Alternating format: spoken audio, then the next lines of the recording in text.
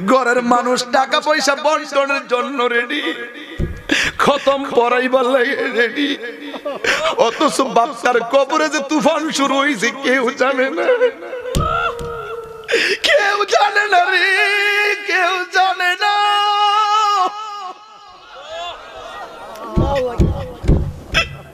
এই তুফান আমি সহ্য করব কেমনে? গুয়ালির মানুষ, বন্ধু, যুবক তোর ফায়ের মধ্যে দইরা কে এই, তোর ফায়ের মধ্যে দইরা কই?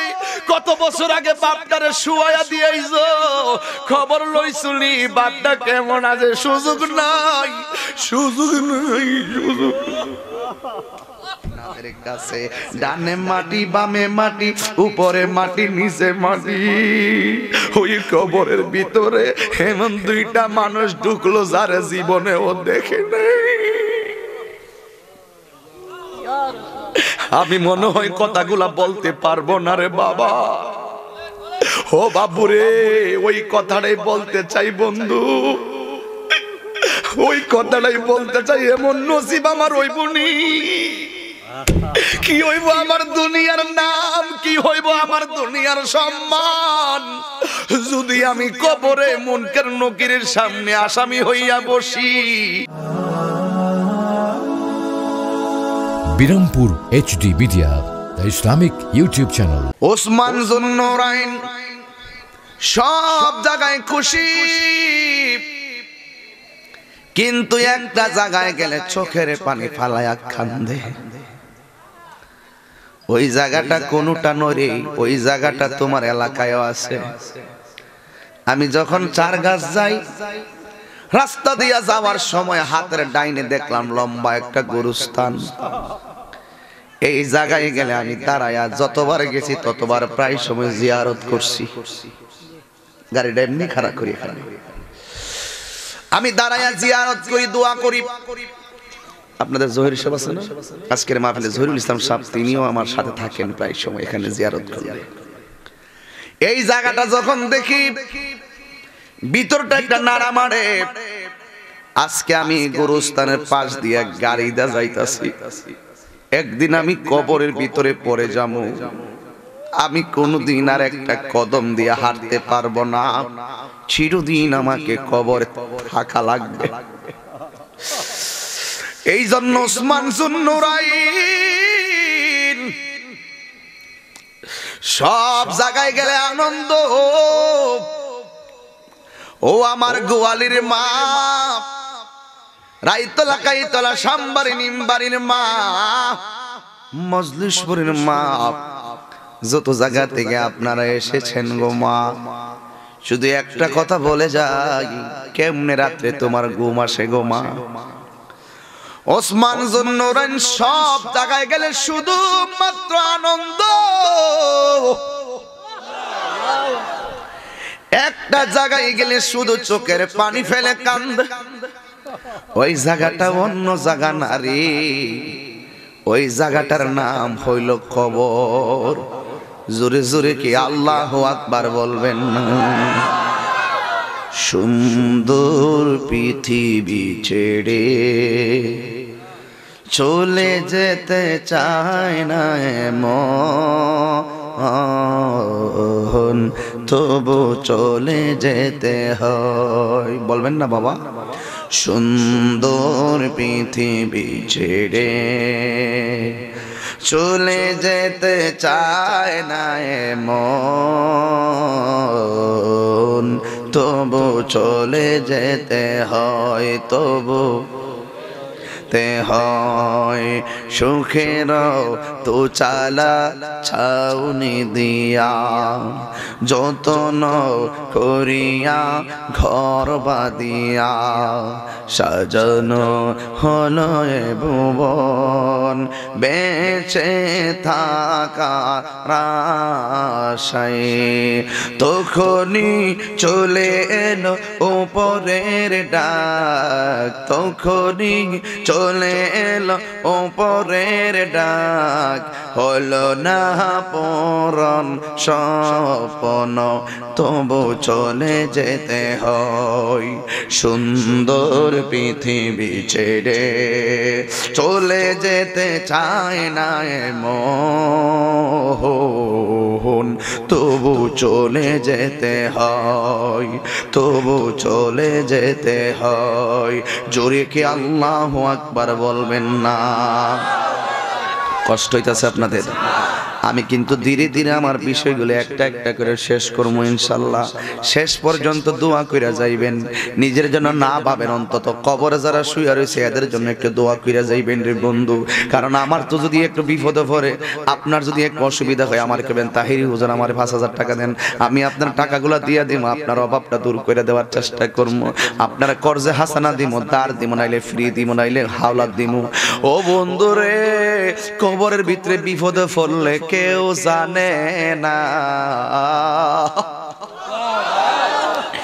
এ বন্ধু রে ও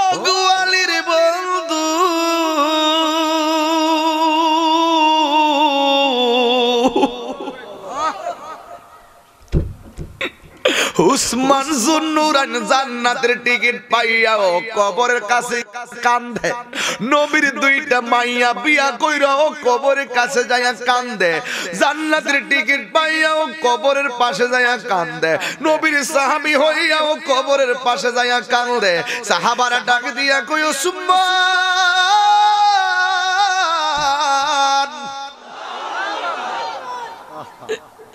সব জায়গায় গেলে তুমি শুধু আনন্দ আনন্দ। কবরে গেলে তুমি কেন কান্দ?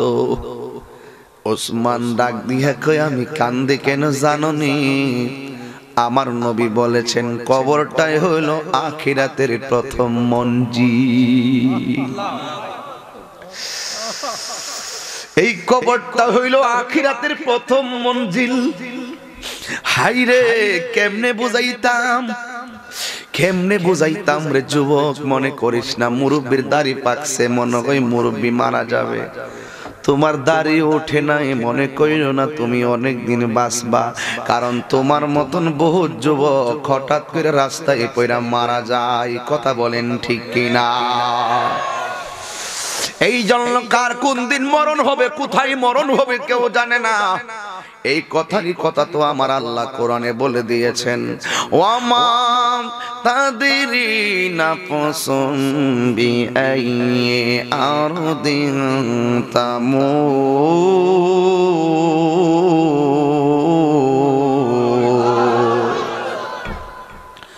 তুমি তো জানো না কোথায় মারা যাবে? কোন জায়গায় তোমার মরণ হবে? আমি যদি একজনের ডাক দিয়ে কই এই বাবা তুমি দাঁড়াও তুমি একটু দাঁড়াও আমার সামনে একটু দাঁড়াও। তুমি হাজার মানুষের সামনে আমাকে বলো তোমার মরণ কি দিনে হইব না রাত্রে হইব? জানে না। কি? জানে না। বাস্তব! বাস্তব! বসো। কি? বাধ্য বলতে বাধ্য। এমন খেলা আল্লাহ খেলাইছে।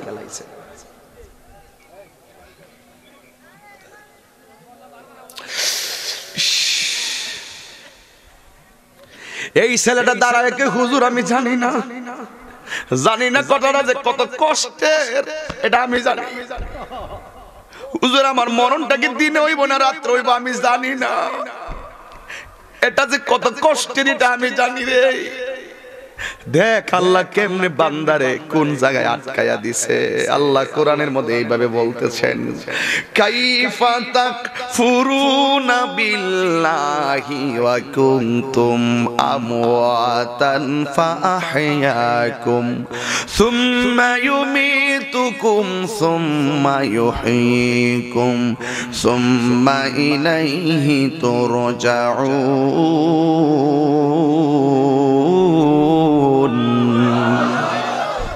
ছেলেটাকে আমি জানি না। এই জানি না কথাটা কত কষ্টের। এটা আমরা অনেকে খবর নিতে জানি না। ওসমান ডাক দিয়ে আমার নবী বলছে, কবরটা হইল প্রথম মঞ্জিল। এই কবরটা যার ভালো হবে হাসরের ময়দান তার ভালো হয়ে যাবে। আমার এক নবী একদিন বলে উসমান আমি আল্লাহর মহান রবের দিদারে গেছি। যাওয়ার পথে অনেক আজাব আর গজব আল্লাহ আমার দেখাইছে। কিন্তু কবরের আজাবের মতন তো কষ্টের জায়গা। আমি আর অন্য কিছু দেখি নাই। ওসমান কই আমি এই জন্য চোখের পানি ফালাইয়া কান্দি। কবরটা না জানে আমার কেমন হবে। সাহাবারা ডাক দিয়া কই ওসমান, তোমারে নবী জান্নাতের টিকিট দিছুইন। তুমি আশারে মুবাশশারা দশ জনের মধ্যে একজন। তুমি নবীর দুইটা কন্যার বিয়ে করেছ। তোমার নাম ওসমান গনি। তুমি কেন চোখের পানি ফালাইয়া কান্দো? তোমার তো কবরে কোনো আজাব হবে না। তোমার প্রশ্নের উত্তর তো তুমি সুন্দর দিয়া দিবা। তুমি তো জান্নাতি হবা তুমি কেন টেনশন করো? ওসমান রাদি আল্লাহ তালানহু কয় তোমরা যেই আনন্দে আমারে বলতেছো আমার মনের ভিতরে সেই আনন্দ লাগে না। কারণ আমি উসমান মরার আগে যদি এমন কোন কর্ম আমার দ্বারা হইয়া যায়, যিনি আমার জান্নাতের টিকিট দিয়েছে তিনি আবার জান্নাতের টিকিটটা ফিরাইয়াও নিতে পারি। জান্নাতের টিকিট পাইয়া নবীর পিছনে নামাজ পইরা, নবীর সঙ্গে ইফতার কইরা, নবীর সঙ্গে জিহাদ কইরা জান্নাতের টিকিট পাওয়েন না, বেডাটাও কবর রাজাবে ঘুমাই না। চোখের পানি সারা থাকতে পারে না। আর আমরা দুনিয়াতে আসি, নবীরেও দেখি নাই, জান্নাতের টিকিটও দেখি নাই। কিন্তু আমরা কবরের কথা বললে অনেকে নকরাই এই ছেলে, এই এই বেটা, এই এই লোকটা কেডা? আহা, এর আসল করে হইল ওই বাড়িটা। কবর না। কবরের কথা কই উঠতে জায়গা একবার কইছি যে আমার এই বয়ানটা অত্যন্ত সেন্সিটিভ বয়ান। চোখের সামনে কবরটা বাসাইতে হবে নকল বাড়ি ভুলে যেতে হবে।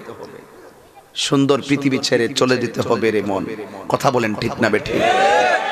উঠে যায়। বুঝবা কবরে গেলে। বুঝবা? অন্তত আল্লাহকে বলতে পারবে না আল্লাহ। আমার এলেম নাই, কালাম নাই, আমল নাই। কিন্তু গোয়ালির মাহফিলে কবরের বয়ে চোখের পানি ফালায়া কানছিলাম আমার আল্লাহ এই চোখের পানির উসিলাই আমাদের জীবনের গুনাহ মাফ করতে পারে কি পারে না।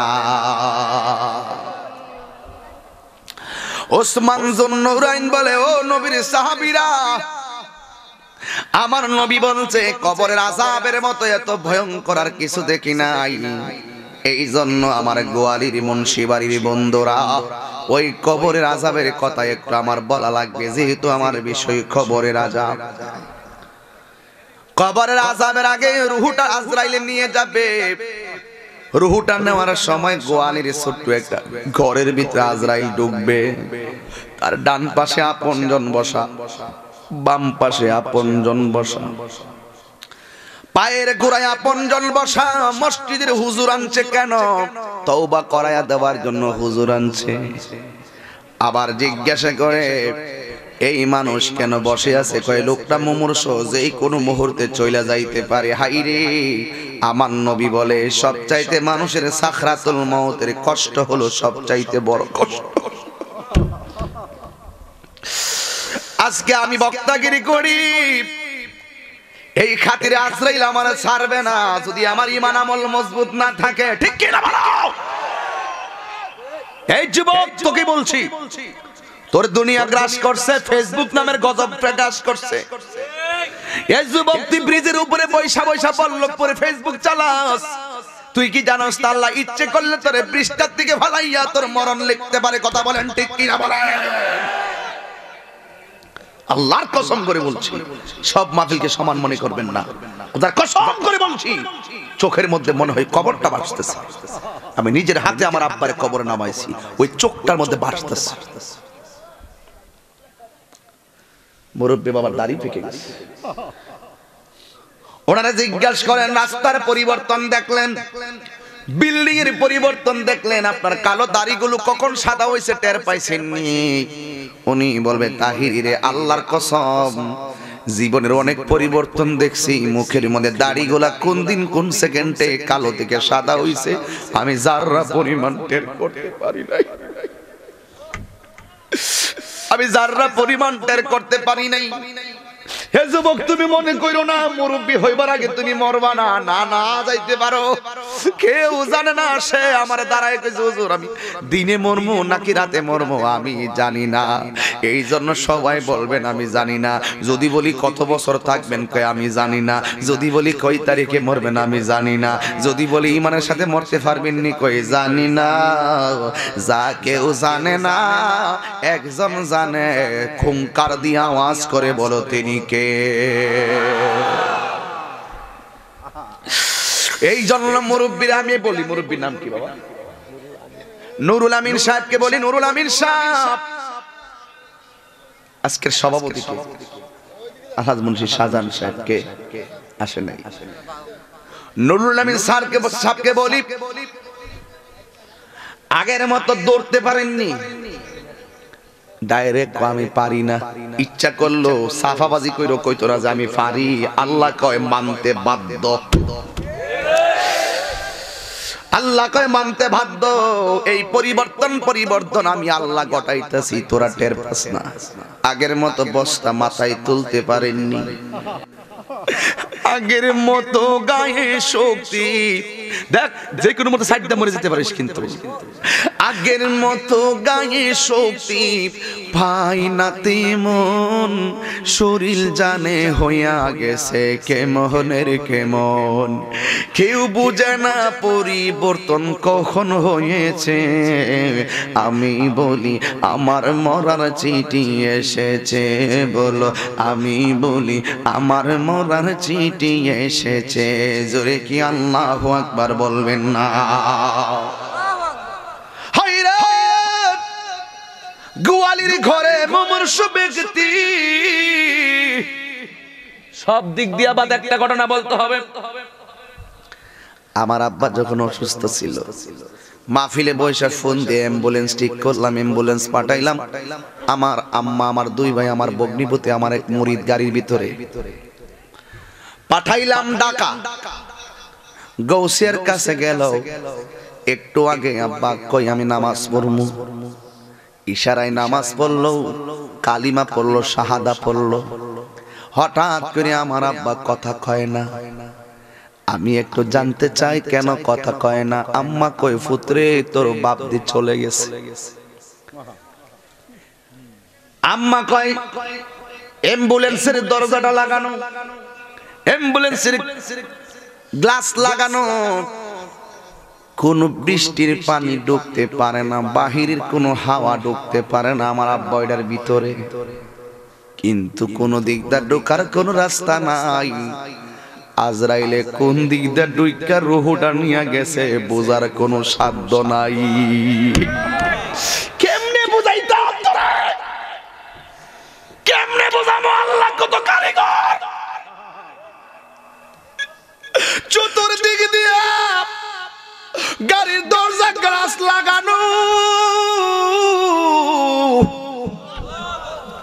কোন দিক দিয়ে আজরাইল ঢুকলো কেউ টের পাইল না?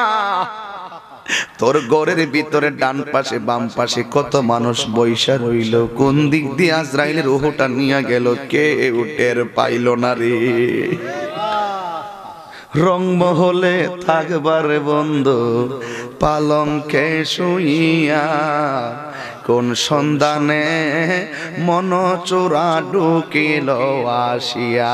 মনসোরা মানে আজরাইল।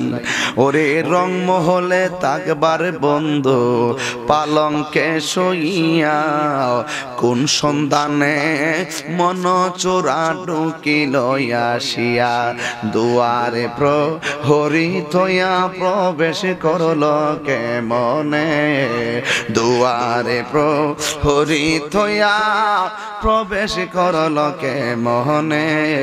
আর কি দেখা হবে রে গোয়ালিবাসী জীবনে? হইতে পারে আজকের মাহফিলটা আমাদের কাহার জন্য শেষ মাহফিল। গতবার এই মাহফিল অনেকে ছিল। যেমন গতবার এই দিনে আমার আব্বা ছিল। এইবার নাই এটাই বাস্তবতা। এমন হতে পারে আগামীতে আবার আমাদের মধ্য থেকে কেউ দুনিয়া থেকে চলে যেতে পারি। আমার নবী বলে, আজরাইল ঘরের ভিতরে ডুইকা রুহুটা যখন টান দিব। ইমানদারের কাছে আজরাইল আইসা ইমানদারের মাথার মধ্যে চিরুনির মতন এইভাবে আশ্রাইয়া দিব। এই ছেলে ডিস্টার্ব করছ একটু মনোযোগ দাও বাবা। কষ্ট নিও না, আমি বেশি লম্বা করতাম না। আমি ভূমিকায় ইচ্ছে করলে আধা ঘণ্টা ডান বাম কথা বলতে পারতাম, জিকির আজকার করতে পারতাম। আমি সোজা বয়ানে ঢুকে গেছি কিরে আমার বিষয়টা দিছে খুব কঠিন একটা বিষয়। এই কবরের আজাব আমি কেমনে সেমে, মানজুর আহমদ রেফাই কইতো, কবরে কেমনে থাকে বই একা একা? কইতেন না কইতেন না কইতেন না, কবরে কেমনে থাকে বই একা একা? তোমার বন্ধু যেন সাথী হয়ে দে দেখো।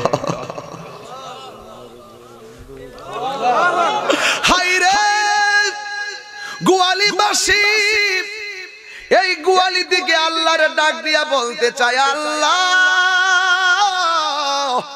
ওই কবরে তোমার বন্ধুর দিদার নসিব হইবনি। আমার নবী বলে, উম্মত, আজরাইল ইমানদারের কাছে আইব, মাথার মধ্যে মাথার মধ্যে আঙ্গুল দিয়ে এইভাবে মাথার আশ্রাইয়া দিব। ইমানদারের কানের কাছে আজরাইলে মুখটা লাগাইয়া কইব, আপনার রুহুটা নিতাম চাই। ইমানদার বলবে, আজরাইল, দেরি কইরেন না। আর দুনিয়া সিজনুল মুমিনিন দুনিয়াটা হলো মুমিনদের জন্য জেলখানা। আর দেরি কইরেন না, আপনি আমার তাড়াতাড়ি রুহুটা নিয়ে যান। আমার মহান মনিবের সঙ্গে দিদারের জন্য মনটা উতলাইতাছে। এটা হলো ইমানদারের কথা। আল্লাহ বলবে আল্লাহ বলবে, ও ফেরেস্তা তুই যা আজরাইল ইমানদারের কাছে গেছে তুই যাই আজরাইলের দুইটা চোখের মাঝখানে যাইয়া বসবি। ওই দুইটা চোখের মাঝখানে বসবি। হাতের মধ্যে একটা সাদা কাপড় লইয়া যা আর একটা হাতের মধ্যে আমার পকেটের মধ্যে আছে একটা আতরের বোতল নিয়ে যা। সুবহানাল্লাহ। কিসের বোতল নিয়ে যা? একটা আতরের বোতল নিয়ে যা। আতরটারে তুই কাফনের কাপড়ের মধ্যে দিবি।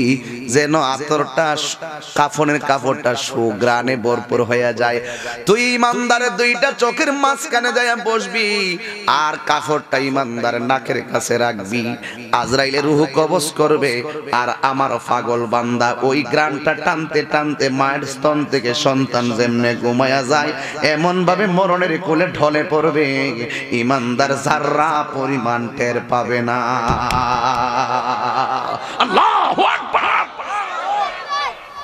আল্লাহু রাব্বুল আলামিন ইমানদারকে এত মায়া করুন। এবার রুহুটা নিয়ে যাবে। মনে করেন, আমার দেশের কেউ যদি মারা যায়, বডিটারে বাইন্ডিং করার জন্য কাফনের কাপড় আনতে বাজার চার গাছে যাই যায়নি? আপনার কই যান? চার গাছ যান কাইতলা যান। কেউ যায় কাইতলা, কেউ যায় চার গাছ কাফনের কাপড় আনতে যায় আর আল্লাহ ইমানদারের রুহুটারে বাইন্ডিং করার জন্য একটা কাপড় দিয়া ফাটায় যে জান্নাত থেকে। এই কাপড়টার মার্কেটের নাম দুনিয়ার কাইতলার মার্কেট নয়, এটার মার্কেটের নাম হইল জান্নাতুল ফেরদাউস। এবার আজরাইল আইসা ইমানদারের রুহুটারে কাফনের মধ্যে বাইন্ডিং কইরা উপরের দিকে উড়াইয়া নিয়ে যাবে। আমার নবী বলে, ইমানদারে বডিটারে যখন বানাইয়া, কাফনের কাপড়টারে যখন বানাইয়া, ইমানদারের লাশটাকে যখন কবরের ভিতরে নামাইয়া দিব, ওই কবরের ভিতরে যখন নামাইব, আল্লাহ ডাক দিয়ে বলবে ফেরেস্তা ওই যে রুহুটা এখন কবরের ভিতরে নিয়ে দিয়া দে, ওই রুহুটা দিয়া দে, কারণ আমার প্রেমিক বান্দার কবরে ইন্টারভিউ হবে। ওই ইমানদারকে যখন রুহুটা দিয়া দিব, ইমানদার তখন ডানে তাকাইব, বামে তাকাইব তাকাইয়া তাকাইয়া দেখবে ঘরের ভিতরে কেউ নাই। হঠাৎ করে দুইজন কবরের ভিতরে নামবো, নামার সময় তারা ইমানদারকে সালাম দিব। এমন কফাল আমি তাহির রইবনি, এমন কফাল আমাদের গোয়ালিবাসী রইবনি। রুহুটা দেওয়ার পরে ইমানদার রে মন কারণ কি? যাইয়া যখন সালাম দিব ইমানদার রে দেখেন, এইভাবে কাফনের কাপড় দিয়ে শোয়াইয়া ইমানদার এইভাবে কাফনটা খুলবো। মন কারণ কাফনের কাপড়টা নিজের হাতে এইভাবে খুলবো। খুললা ইমানদারে এমন ভাবে কবরের মধ্যে বসাইবো। দেখেন তো চিত্রটা কেমন লাগে আপনাদের কাছে। ডানে মাটি, বামে মাটি, উপরে মাটি, নিচে মাটি। ওই কবরের ভিতরে এমন দুইটা মানুষ ঢুকলো যার জীবনে ও দেখে নেই। আমি মনে হয় কথাগুলা বলতে পারব না রে বাবা। ও বাবুরে, ওই কথাটাই বলতে চাই বন্ধু। ওই কথাটাই বলতে চাই, এমন নসিব আমার ওই বনি কি হইব আমার দুনিয়ার নাম? কি হইব আমার দুনিয়ার সম্মান? যদি আমি কবরে মুনকের নকিরের সামনে আসামি হইয়া বসি এমন ভাবে লাশটারে কবরের মধ্যে তুইলা বসাইয়া যখন সালাম দিব, ইমানদার জিগাইব মার রাব্বুকা। ইমানদার বলবে, রব্বি আল্লাহ। এরপরে জিগাইব আমা দিনুকা। ইমানদার বলবে দিনী আল ইসলাম। এরপরে জিগাইব আমা কুনতা তাকুলু ফি হকে হাজার রাজুল। উত্তরগুলা দিয়ে দিব, ওই মুহূর্তে আমার আল্লাহ একটা ডাক মাইরে কইব, ফেরেশতারা, যা যা, আমার পাগল ইন্টারভিউর মধ্যে ফাঁস করছে। এক লাখ কবরে তল বিছনা সারা বিছনা সারা কবরে কেমনে থাকব কেয়ামত পর্যন্ত? জান্নাতে যা।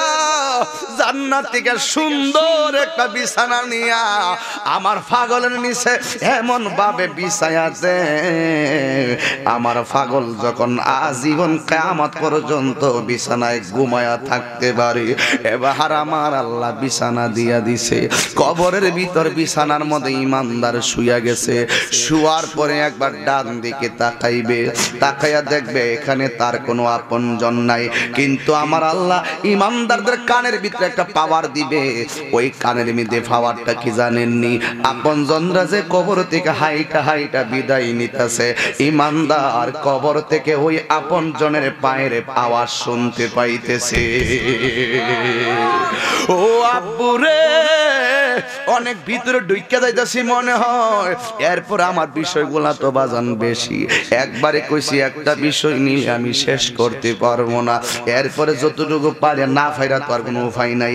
এরপরে চেষ্টা করতেছি মূল মূল কথা বলার জন্য। এবার ইমানদারকে কবরের ভিতরে শুয়াইয়া দিল।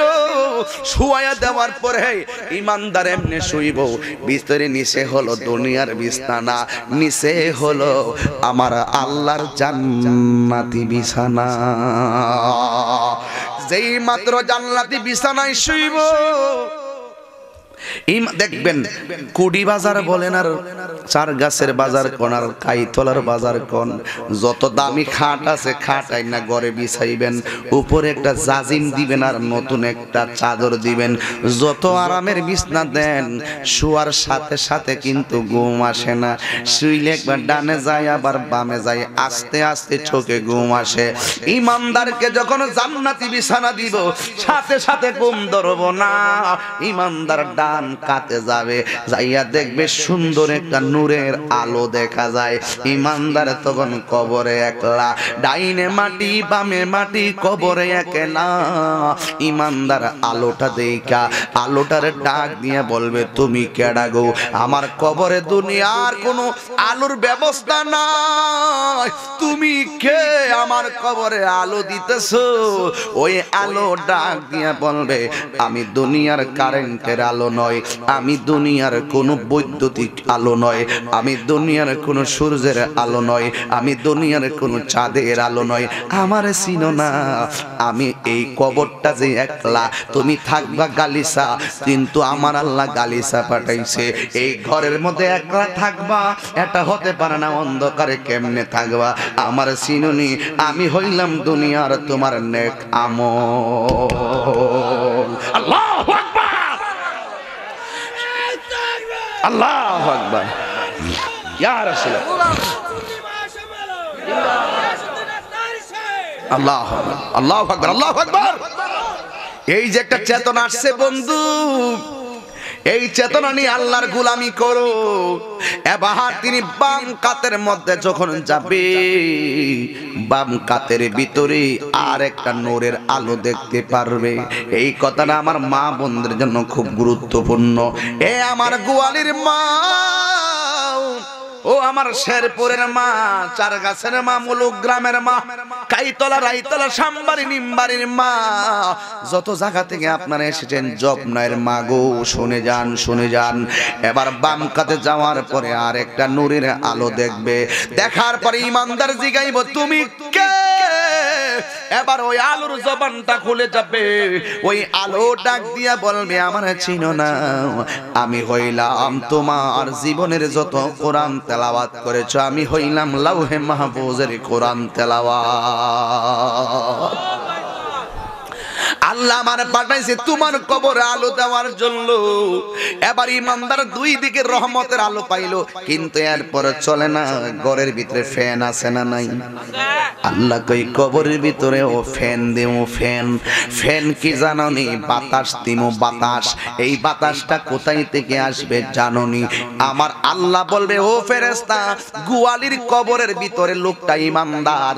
এই কবরটার বরাবর জান্নাতি একটা রুট বানায়া দেয় যেন জান্নাতি হাওয়া যেন তার কবরের ভিতরে প্রবেশ করে তারে আরাম দিতে পারে। এই হলো ইমানদারের কবরের ভিতরে শান্তির ধারা। এখন যদি বলেন, হুজুর, কবরের ভিতরে আজাব কি? আমার নবী বলে, বেঈমান হইয়া কবরে গেলে পাঁচটা আজাব বড় ভয়ঙ্কর। পাঁচটা আজাব বড় ভয়ঙ্কর। পশমগুলা দাঁড়ায়া যায়। এই পশমগুলা দাঁড়ায়া যায় রে বন্ধু। এই কবরের আজাব তো আমরা দেখি নাই। হাদিস পড়লেই মাথা গরম হইয়া যায়। কেমনে সহ্য করব এই কবরের আজাব? আমার নবী বলে, কবরের ভিতরে পাঁচটি আজাব বড় ভয়ঙ্কর। সাহাবারা ডাক দিয়া কয়, ইয়া আল্লাহ আকবারটা জোরে হবে। সাহাবীরা ডাক দিয়া কয়, ইয়া রাসূলুল্লাহ নবী গো।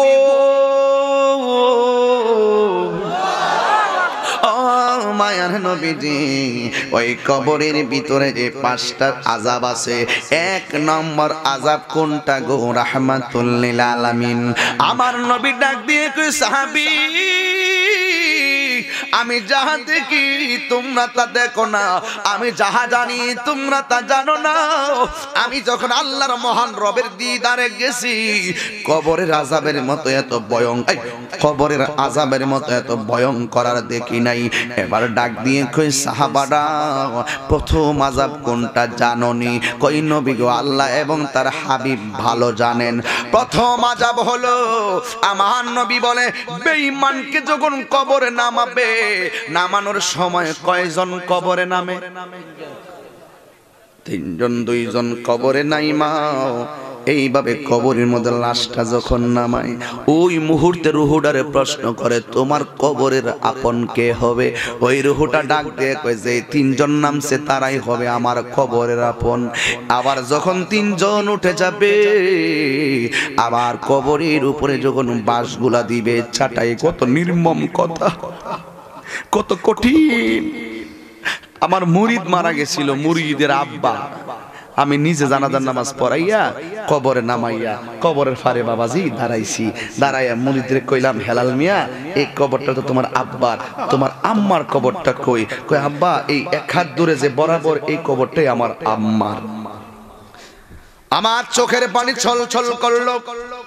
এমনিও তিনটা বয়ান করলে আমি চোখের পানি ধরে রাখতে পারি না। এটা আগে থেকে সারা উনিশ বছর আগে থেকেই। একটা হলো কবরের বয়ান, হাসরের বয়ান। দুই নম্বর হলো মা বাবার বয়ান, কারবালার বয়ান। এই কথাগুলা বললে আমার বুকটা ফাইটটা যাই বোঝাইতে পারি না। আমি তখন চোখের পানিগুলা চল চল করল, নজরুল ভাই শোনেন। আমি তারে বললাম, এটা তোমার আম্মার কবর, মারা গেছে কয়দিন আগে, অনেক দিন হইছে। আজকে তোমার আব্বার সোহাইলাম আমার চোখের পানিগুলা চল চল করল। হে গোয়ালির মা, দুইজন স্বামী স্ত্রী একসঙ্গে ঘর সংসার করল, তারা সাতটা পোলা। কিন্তু আজকে একজন আগে শুইছে এই কবরে, আরেকজন পাশে এক হাত দূরে আরেকটা কবরে। কে সুখে না কে দুঃখে, একজন পাশাপাশি শুইয়া রইছে, জানার কোনো ক্ষমতা না আরে কিসের দুনিয়াদারি কিসের দুনিয়াদারি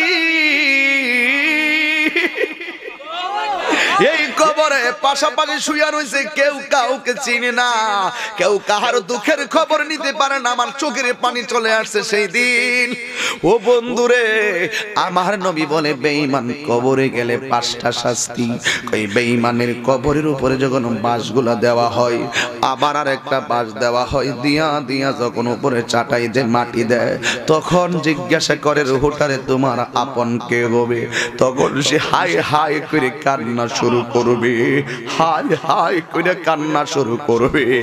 আমারে ঘরের মধ্যে গোসল করাইলো, আমার কবরে কেউ আইলো না, আমার কাফন পড়াইলো আমার কবরে কেউ আইলো না, আমার জানা যায় হাজার হাজার মানুষ আইলো, আমার কবরে কেউ আইলো না, আমারে গোসল দিল, আমার কবরে কেউ আসলো না, আমার কবরে নামাইলো, আমার কবরে হাইলো না না। এমন নিষ্ঠুর হবে জানলে দুনিয়া রঙ্গে কোনোদিন মস্তাম না। এই হাই হাই করলে লাভ হবে না। এবার আমার নবী, আপনার নবী বলে, বেঈমান কি কবর দেওয়ার পরে মুনকার নকিরের এই মুনকার নকিরের যে নখগুলা থাকবে, পৃথিবীর এক প্রান্ত থেকে আরেক প্রান্ত যত বড়, মুনকার নকিরের বিয়াদবের কবরে নামলে তার হবে এত বড়। কোদাল দিয়ে মাটি কাটলে যেমন, ওই বিয়াদবের কবরে, জালেমের কবরে মুনকার নকির নখ দিয়ে মাটিগুলা যখন করব সুসুকিরা কবরে একটা আজাব যেন মনে হয় সারা দুনিয়া তুফান লইয়া কবরে ঢুকতেছে দুনিয়ার মানুষ তো দেখতেছে, পানি পুনি ছিটাইয়া গাছ গুছ লাগাইয়া জাল তাল দিয়া কিন্তু কবরের উপরে যে তুফান উঠতেছে, ঘরের মানুষ কেউ জানে না রে, জানে না রে, জানে না জানে না জানে না। ঘরের মানুষ টাকা পয়সা বন্টনের জন্য রেডি খতম পড়াইবার লাগে রেডি অথচ বাচ্চার কবরে যে তুফান শুরু হয়েছে কেউ জানে না। কেউ জানে না রে, কেউ জানে না।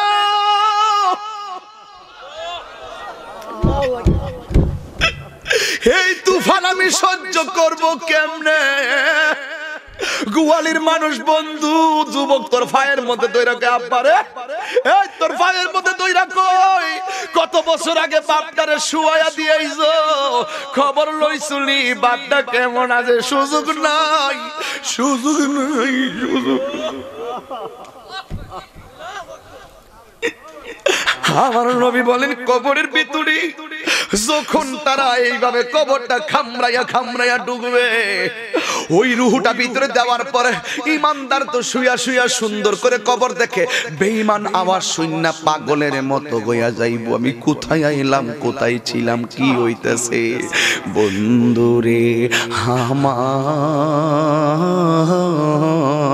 আমার।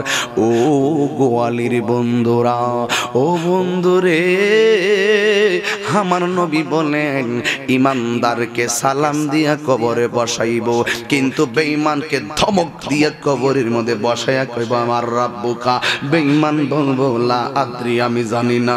কইব আমা দিনুকা? কইলা আদ্রি, আমি জানি না। ওমান হাজার রজুল? কইলা আদ্রি, আমি জানি না। এইভাবে যখন জানি না, কইব রে, আমার নবী বলে, এই কথা বলার পরে রে, ও বন্ধু আমার আমার, এই যুবক ভাইরা আমার। হো বন্ধুরে এই জহির সাবাই সে দিগায়েন বিশ্বাস করে জিজ্ঞাসা করেন, ভাই, এই শেরপুর মাছ কবরস্থান আমি জিয়ারত করি না প্রতি রাত্রে এই যে, এই কবরটার পারে ওনার আম্মার কবর বরাবরই দাঁড়ায় অনেক সময়। উনি যখন থাকে, আমি এই দিক দিয়ে গেলে কবরটা জিয়ারত যায়। বাস্তব রাজসাক্ষী এইটাই বলতেছি, এই দিক দিয়ে গেলে কবরস্থানটা দেখলে দিলটা পুরা তুফান শুরু আছে এই যে আমি আমি কিন্তু ওয়াজ যে করি, আমি চোখে দেখে ওয়াজ করি। আমি যখন ওয়াজ করি, আমি সবগুলা কথা সত্য বলে ওয়াজ করি। এই কবরটা আমাদের আসল ঘর বসুন। এই বেঈমানের কবরে আমার নবীকে পাঁচটা তুফান শুরু হইয়া যাবে এক নম্বর। কই বেঈমানদের কবর দিয়া সবাই যখন চলে যাবে, মুনকার নকিরের প্রশ্নের উত্তর যখন দিতে পারবে না, তখন ডান পাশের মাটিগুলো এক প্রান্তে যাবে, বাম পাশের মাটিগুলো আরেক প্রান্তে যাবে। দুই পাশের মাটিগুলো এমন জোরে তারে চাপা মারবো। আমার Naraya takbir. Naraya risalat. Aleyh sünnat ve damat. Aleyh sünnat. Bir mufti Gâşidin Ezbayri Şeyh. Bu Ali Sünni Maşammer. Kobore. Kobore. কেমনে থাকব একা একা? এই, ঘুমে ধরতেছে তোমরা? এই, বাড়ি ডাকতেছে আমরা দৈনিক কয়েকশো বার কবর ডাকতেছে। এই যে শরীরে যে মাঝে মাঝে রাত্রিবেলা যে পশম পশম যে কাটা মারে, অনেকে মনে করে ডরাইছে, পশম কাটা মারে। না, কবরের মাটি যেখানে শুইবা, ওই কবর মাটি যখন আপনাকে ডাক দে এই, আল্লাহর বান্দা, আমার জায়গাটা বেশি ভালো না, আমল করে আসলে শান্তি ভাইবা না, আইলে তোমাকে খবর আছে। যখন কবরটা ডাক মারে, তখন আপনার আপনার পশমগুলা দাঁড়ায় যায়। কবরে কেমনে থাকব একা এক- জান্নাতুল বাকিতে ঘুমাই, মঞ্জুর আহমদ রাফাই রহমতুল্লাহ আলাই। বলেন না? কবরে কেমনে থাকব একা একা তোমার বন্ধু যেন সাথী হয়ে দে, দেখা।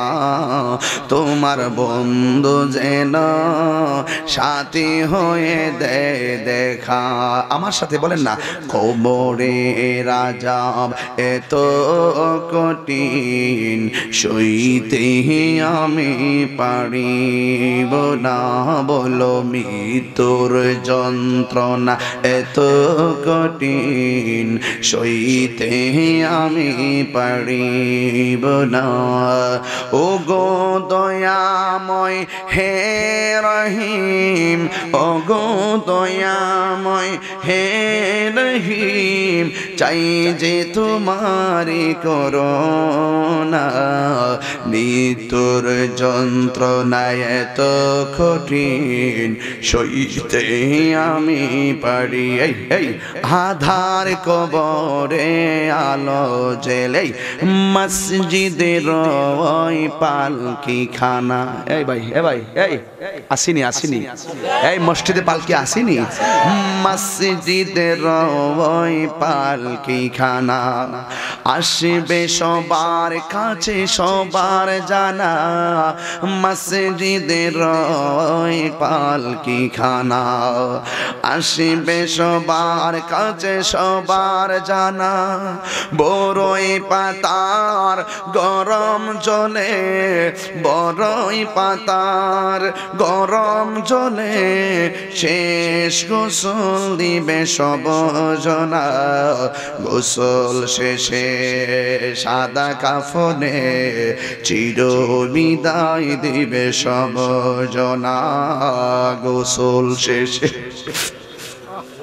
সাদা কাফনে চির বিদায় দিবে সব। নিষ্ঠুর নিষ্ঠুর পৃথিবী, নিষ্ঠুর নিষ্ঠুর।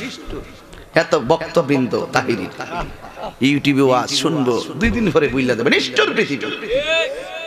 বাপ চলে গেছে বাপটার বুঝলে গেছে। মা চলে গেছে, মা বুঝলে গেছে। সমাজ থেকে বহুত বন্ধু চলে গেছে, সমাজ বন্ধু বুঝলে গেছে। নিষ্ঠুর পৃথিবী, এই পৃথিবীর কেউ কারও আপন নয়। ঠিক কিনা বলেন? নিষ্ঠুর পৃথিবী। দুনিয়ার মায়া মজিও না, মালিকের মায়ায় মজো। কাজ হয়ে যাবে, ইনশাল্লাহ বলেন ইনশাল্লাহ বলেন। এবার আমার নবী বলে কবরের দুই পাশের মাটিগুলো তোমার চাপা মারবো। হাড্ডিগুলো গোড়াইয়া বানাইয়া ফালাইব। আমার নবী কই সময় আল্লাহ গো কইয়া বাঁচাও কইয়া লুকাইয়া মন চিৎকার মারবো। আমি যদি গোয়ালি দিয়া বল্লভপুর ব্রিজ নাইটা এই ব্রিজের মধ্যে যদি কোনোদিন রাত্রে বেলা বিপদে ফইরা যাই, আর আমি যদি বাঁচাও বাঁচাও কইরা চিৎকার পারি আমার এলাকার মানুষ দৌড়াইয়া যাবে সেভ করার জন্য। কিন্তু কবরের ভিতরে বিপদে পইরা বাঁচাও বাঁচাও কইয়া কান্দতেছে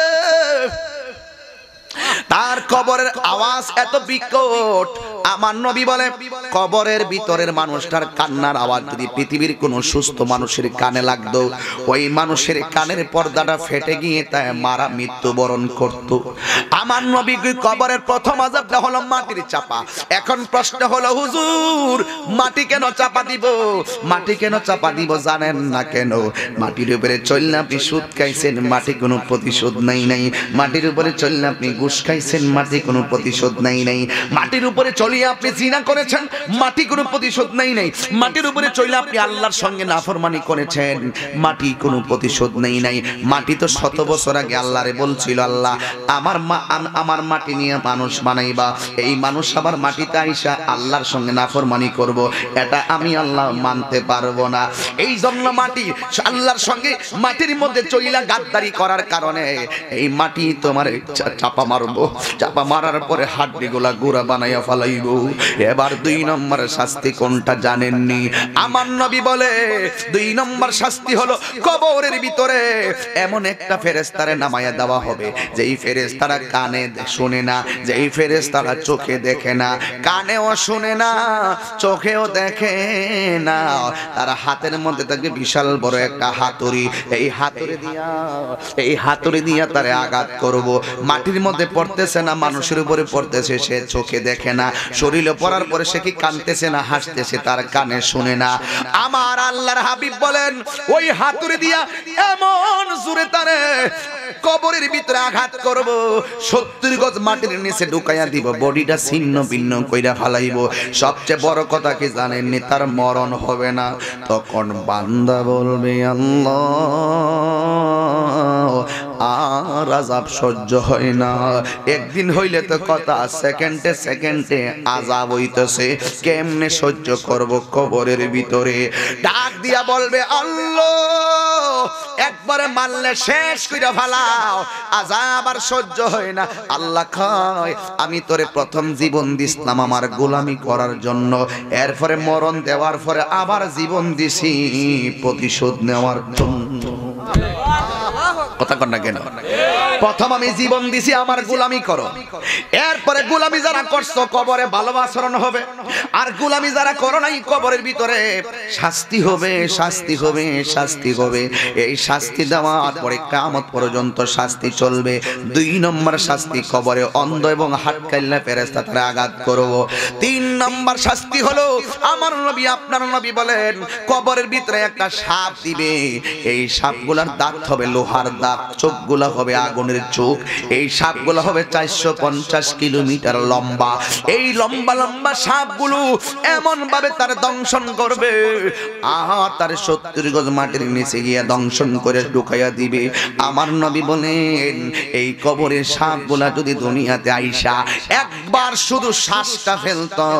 দুনিয়ার সব গাছ গাছালি বিষের যন্ত্রণায় ধ্বংস হয়ে যেত। এমন সাপ দিয়া কবরের ভিতরে আজাব। হুজুর, ও তাহেরে হুজুর, এই আজাবটা কয়দিন পাইব? আর ইমানদার কয়দিন পর্যন্ত ঘুমাবে? আমি বলি না, আমার আল্লাহর কোরআন বলে। কোরআন। কোরআন শরীফটা নাই। আল্লাহ রাব্বুল আলামিন কোরআনে বলেন, ইযা নুসুল জিলাতিল আরদু জিলসালাহা ওয়া আখরাজাতিল আরদু আসকালাহা।